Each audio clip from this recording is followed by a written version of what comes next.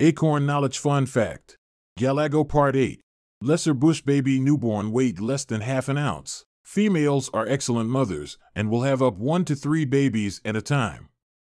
The lesser bush baby newborn are tiny and weigh less than half an ounce. They will cling to their mother suckling for up to six to eight weeks before feeding for themselves.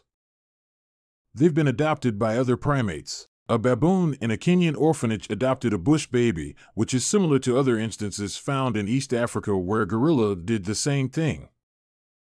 If there is anything you would like to see, leave a comment, and as always, thanks for watching and please like, share, and subscribe.